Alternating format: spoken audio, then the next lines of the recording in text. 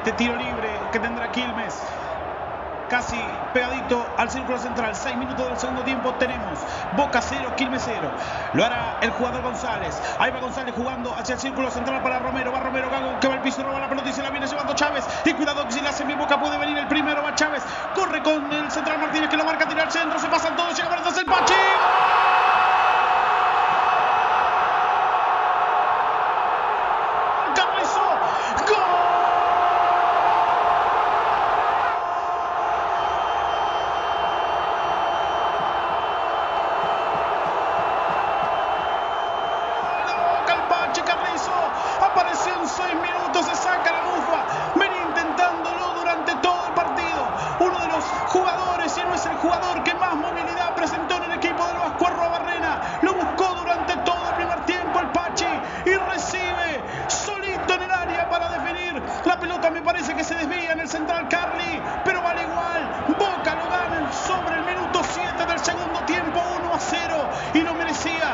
inclinaba la cancha los primeros minutos del segundo tiempo. Terrible corrida de Chávez que tiró el centro al medio, se pasaron todos. Y por atrás el Pachi Carrizo de zurda. Gran quite de Gago en el medio campo también. Señores, Boca le está ganando a Quilmes 1 a 0 en 7 minutos.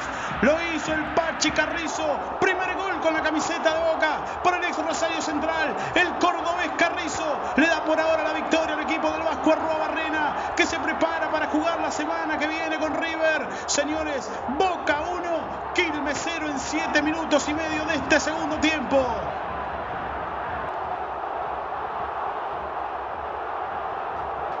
Venía otra vez el ataque de Boca, va a tirar el centro al área, pero no va a pasar nada, seguramente la pelota le va a quedar sin problemas al arquero Dulcich.